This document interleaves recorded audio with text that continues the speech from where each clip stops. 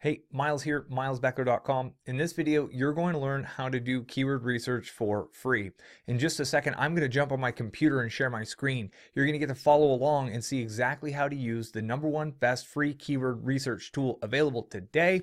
And ultimately, you're going to get everything you need to be more effective with your content marketing and your search engine optimization strategy. Now, be sure to hit the subscribe button because I have some keyword suggestion tools I'm going to teach in a future video so hit subscribe and hit the bell if you want to get notified when that video comes out. Of course, I appreciate any likes, thumbs up, shares, all of that. But here is the tool. So the tool is Ubersuggest, and you can get to it by simply going to ubersuggest.com, U-B-E-R-S-U-G-G-E-S-T, and it's a quite simple tool. Now, this is built by Neil Patel. I've got a little story. I was hanging out with him in Vegas at the Affiliate Summit, and I, I know a bit of the backstory here that I'll share in a little bit, but let's jump in. Now, the simplest way to start start is by just going into the search bar and typing in a keyword phrase based on something you're looking for. So I've got a few examples down here and we're going to start with best kitchen knife.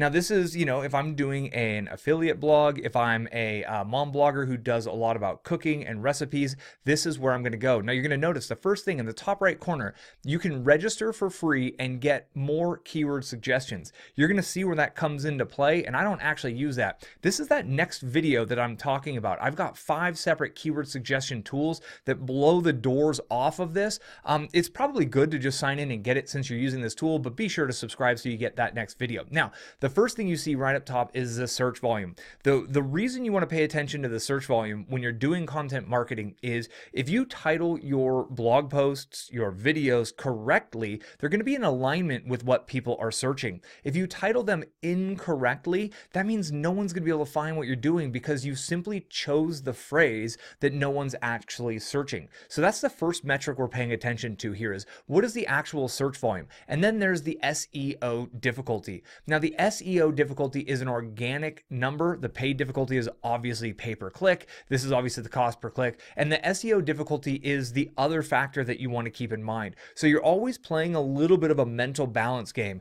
You want high search volume, but you also want low keyword difficulty or low SEO difficulty as he calls it here. And then he gives you a little heads up that the average page ranks has 51 backlinks and a domain score of 79. Now he doesn't exactly say how he calculates the difficulty and the domain score, which is one of my challenges and why the paid premium tool that I still personally use, they give me more insight so I can get a little bit more surgical with my data to know what I need to do to overtake the competition. But this is great if you're on a budget. If you don't have 50 bucks a month to invest in a proper tool, this is a great place to go. Now, we search down to the bottom and you're going to see he has additional keywords suggested here, but they're all extremely similar. And that's one of the flaws of this tool is how similar they are. Now, you notice right here on keyword ideas, these tabs on the right will actually bring you more keyword suggestions. So I just went from suggestions to related, and they're still very similar. Okay, we, we get best kitchen knife sharpener at this point,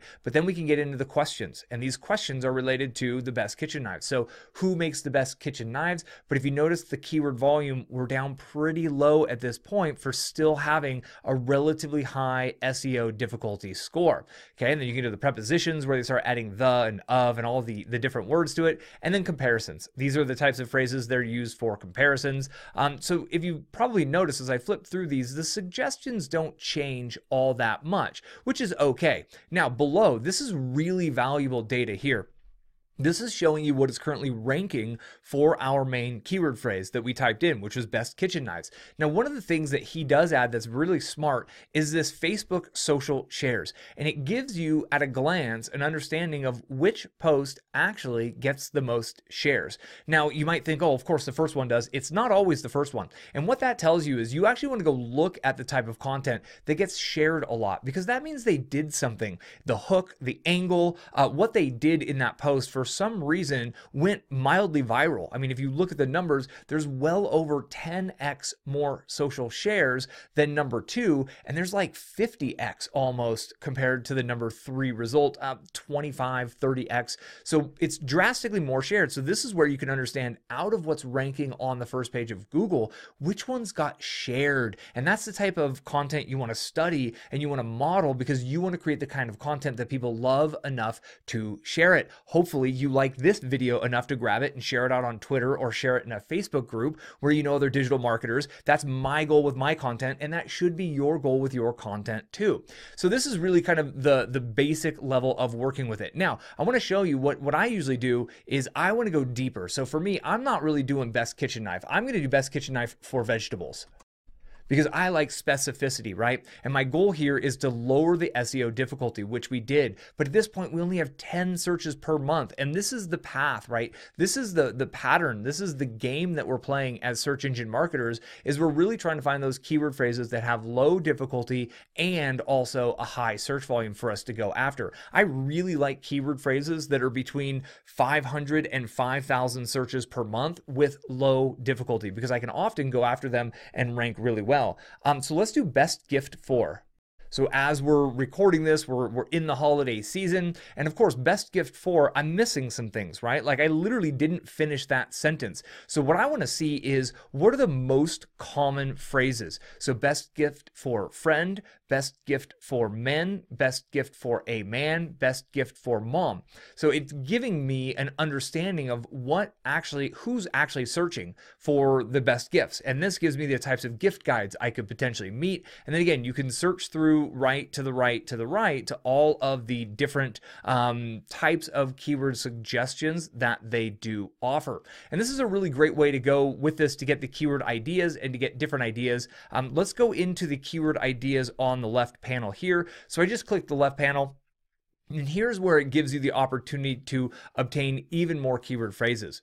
And it takes a minute for this to load because it's pulling data from a number of different sources. When I was speaking with Neil, he actually said this tool, um, when we last talked, was costing him $16,000 per month to run. So the question becomes is this going to be free forever? And also, why is he doing this? Uh, why is he putting out all this money? And I've got a, a, his answer that he told me after I asked him that. And you can see here, it will give you up to 435 more suggestions for free. You just need to sign in for Google. Um, but I'm just trying to show you all of the different ways that you can use this tool. And it gets us all the way down to best gift for a one year old, best gift for mom, etc., etc. Lots of different phrases here. Now, on the right, we have the best gift for search results page and what gets the most social shares. So I'm going to go down to the best gift for one year old and I am going to click the little arrow. What this does is it re actually searches the main page. Now I can see on this main page over here to the right that this top post right here on today got 1400 shares and then this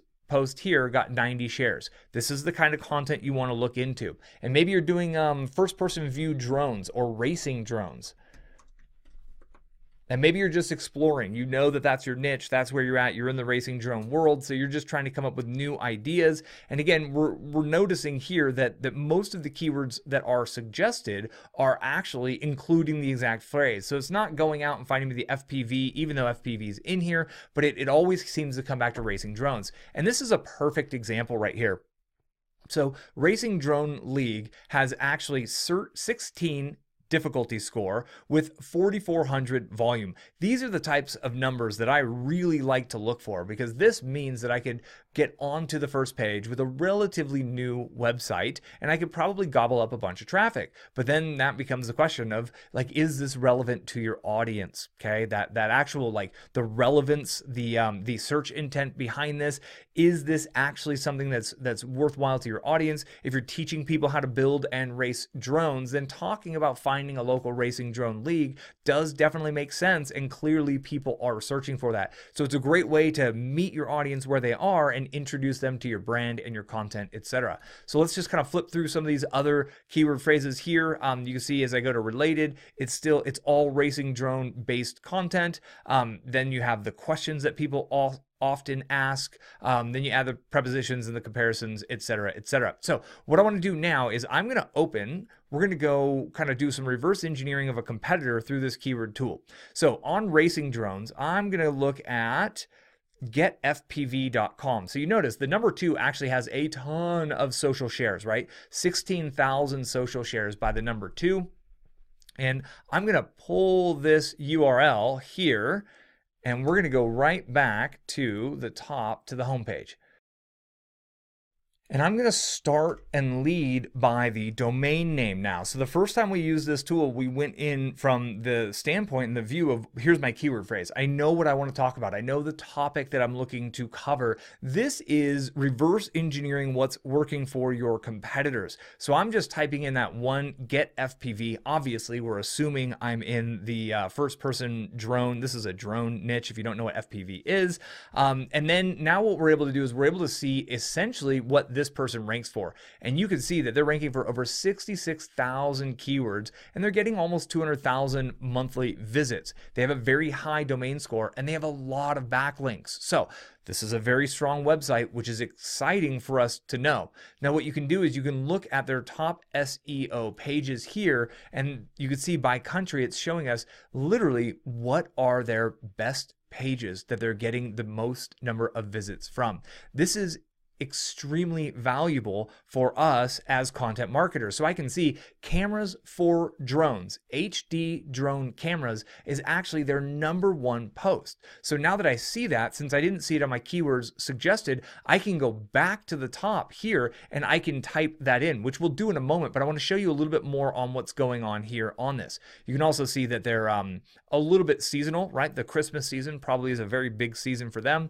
And then down here, it gives you the actual keywords for the individual. So camera for drones, as we saw above, is actually one of their best keyword phrases. FP drone, FPV drones, race drones, drone for racing, camera with drone. These are the different keyword phrases that rank well. And then all you got to do is click on the little arrow. And now it actually does a keyword search for you on that phrase. It gives you the search volume and it gives you the difficulty. And we found here and we can see this is a very difficult keyword phrase. So we would need a very strong site in order to rank for this, but you can see right down here, camera drones at Walmart is actually a 35 difficulty, which comparatively speaking is much less difficulty.